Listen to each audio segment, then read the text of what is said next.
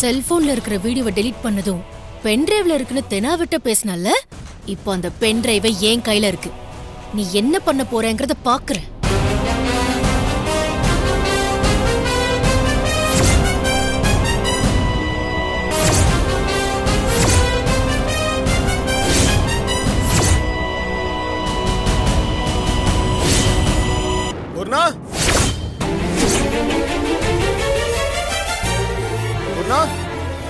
பூர்ணா.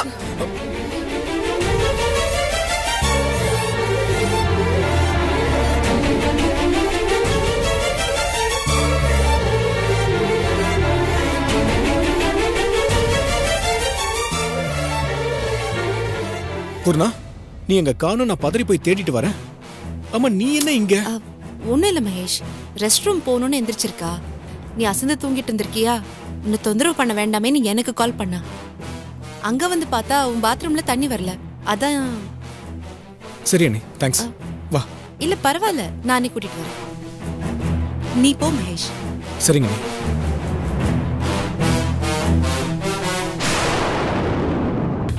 கொஞ்சம் மிஸ் ஆயிருந்தாலும் கையும் களவுமா நீ மாட்டியிருப்ப எதிரே வீட்டுக்குள்ள வச்சுக்கிட்டே எச்சரிக்கையே இல்லாம இருக்க முடியுமா?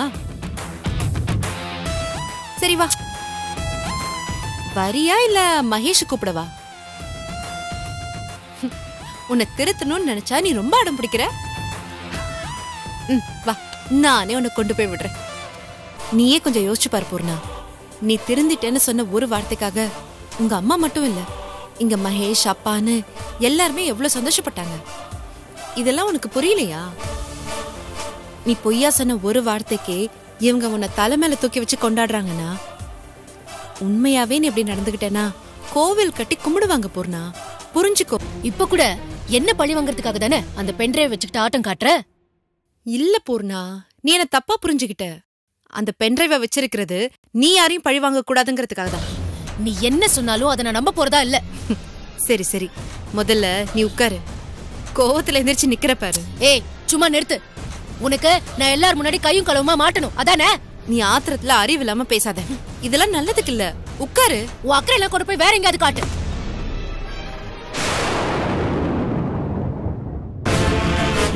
அண்ணி பூர்ணா எங்க? என்ன மகேஷ் என்ன விஷயம்? எல்லாம் நல்ல விஷயம் தானே மகேஷ் பூர்ணா நம்ம கொஞ்சம் வெளியில போக வேண்டியது இருக்கு. எங்க போகணும் எங்கன்னா? ஹாஸ்பிட்டலுக்கு தான். ஹாஸ்பிட்டலுக்கா? யாருக்கு என்னாச்சு? என்ன பூர்ணா இப்படி கேக்குற? உன்னை டாக்டர் கிட்ட காட்ட வேண்டாமா?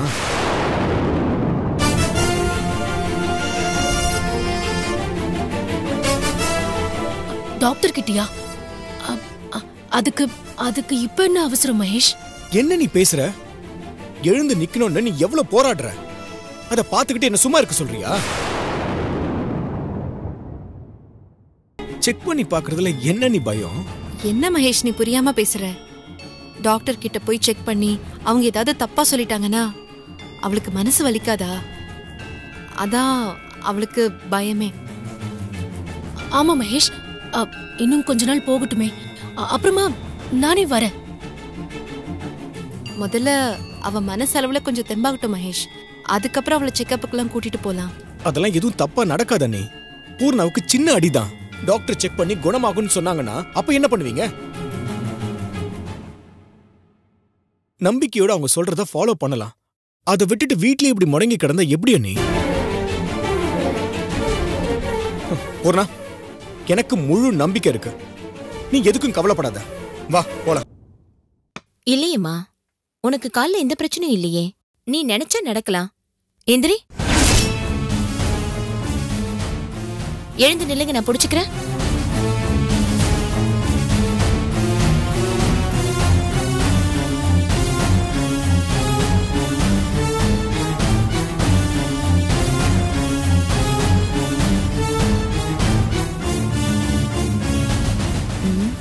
தப்பா இருக்கே. ப்ளீஸ் டாக்டர் எனக்கு என் ஹஸ்பண்ட் கூட இருக்கணும். எங்க அம்மா என்ன ஜாமீன்ல வெளியில எடுக்கணுன்றதுக்காக தான் நான் இப்படி பண்ணேன். அப்போதான் அவங்க என் மேல இறக்கப்படுவாங்க டாக்டர் தயவு செஞ்சு இந்த உண்மையை அவங்க கிட்ட சொல்லிடாதீங்க. டாக்டர் நீங்க கேக்குற பணத்தை வேணும் வாய் மூடு. யார்கிட்ட பேரும் பேசுற? என்ன பத்தி உனக்கு என்ன தெரியும்? உனக்கு இருக்கு. இப்பவே சொல்ல வேண்டியவங்கிட்ட சொன்னதா? நீ அடங்குவ. Doctor doctor please doctor please doctor doctor. சொல்லு மாலினி அவ நடப்பாளா? உன்னை நினைச்சா எனக்கு ரொம்ப பெருமையா இருக்கு சகு. நம்ம கூட படிச்சவ இன்னைக்கு சிட்டியே கலக்கிற லாயரா இருக்காளேன்னு இன்னும் சொல்லப்பனா நீ எனக்கு ரோல் மாடலா கூட இருந்திருக்க.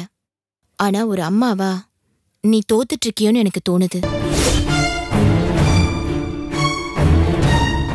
என்ன சொல்ற மாலினி?